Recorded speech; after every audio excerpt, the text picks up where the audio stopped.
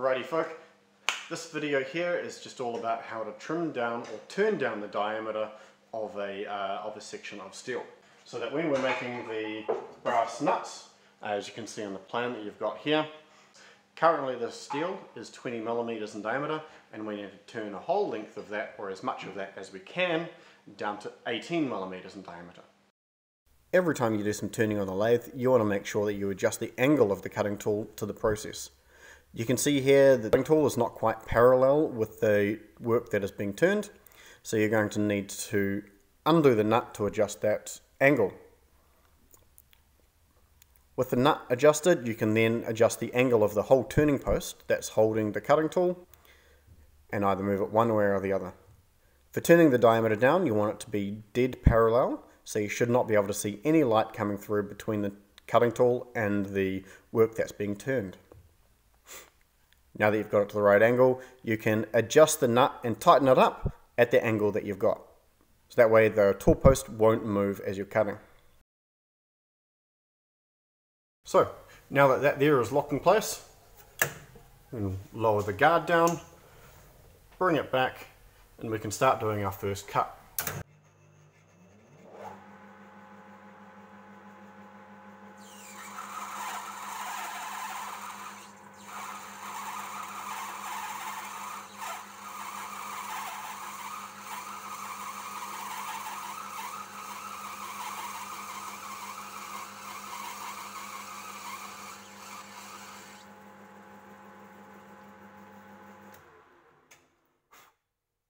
You can see that I stopped a little bit of a distance away from the teeth there, right? You want to get able to get in nice and close, but you don't want, so that you can get the most out of all this entire section, but you don't want to be able to go all the way and touch the teeth with the cutting tool.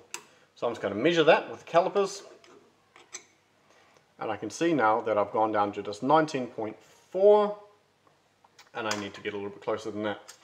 So what if, if I set my calipers to 18 millimeters, I now know that this here is 18 millimeters and it doesn't fit. And we're just going to use, start using our calipers like a yeah-nah gauge.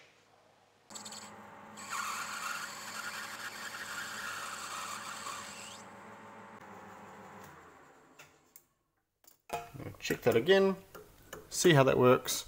It's not quite there, if I put it over the end, I can tell that there's just a little bit more to go. So from now I want to make sure that I'm getting a nice, smooth fit.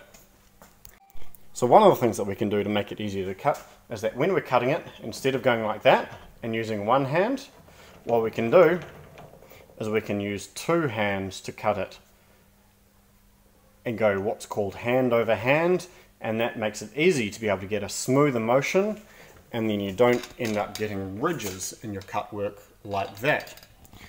Okay, so when you go hand over hand, you can get a much tidier cut.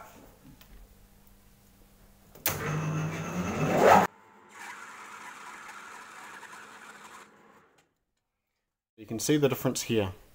So this section up the top there is where it's been cut with one hand, just going in circles, and this section here is where it's been cut hand over hand, so it's nice and smooth.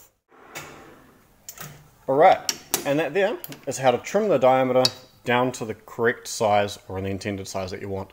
We've got our main uh, stock size there, and this here is our intended finish size for our main uh, section of the brass nuts at 18 millimeters in diameter.